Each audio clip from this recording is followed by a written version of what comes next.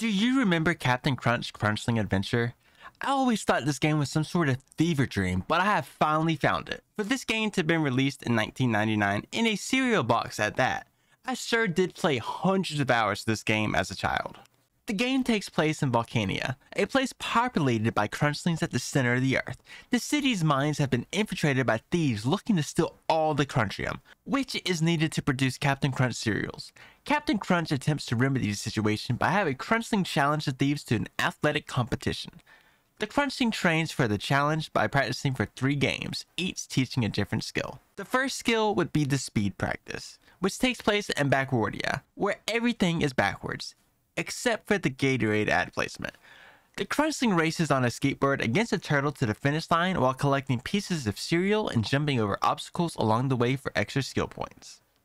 The second one would be jumping practice. This takes place in Computica, a place completely made from computer parts. The Crunchling jumps up a tall shaft on the top of floating memory chips, collecting pieces of Captain Crunch and Crunch berries throughout the level for extra skill points. The third and final skill would be the strength slash throwing practice. This takes place in Jurassica, a dinosaur-filled place in a time where Crunchosaurus ruled the Earth. The Crunchling has one minute to move back and forth, throwing rocks in the air to hit volcanic rocks and pterodactyls flying overhead.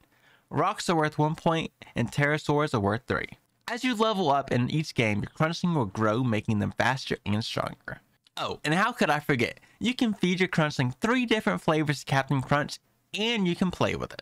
To me, the worst of the three games is the strength practice.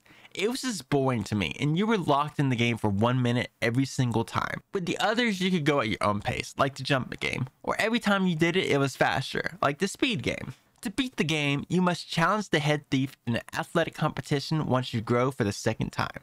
But it is only one of the three games, so after practicing all three skills you basically wasted your time improving on, it all comes down to one game.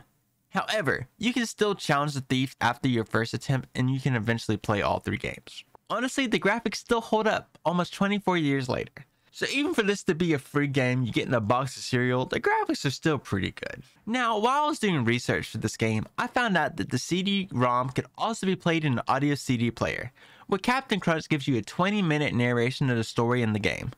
Who knew? Now, do I regret spending an hour and a half playing this game again? No. Would I do it again? Maybe in 20 more years. The game does get super repetitive, and as a child, I could just grind this game over and over. But as an adult, I wouldn't think I would waste my time playing this game over and over like I did as a child. So to sum it up, Captain Crunch Crunchling Adventure may not be the most groundbreaking game of its time, but it is delightful and whimsical experience that will warm your heart and bring a smile to your face. If you're a fan of classic games or simply want to relive some childhood memories, I highly recommend giving it a try. If you'd like to see the whole game with no commentary, check out the description where I will have a link to my whole walkthrough of the game. That's all for today, folks. Thanks for watching, and don't forget to like, subscribe, and hit the notification bell to stay up to date with all my gaming reviews. Until next time, happy gaming.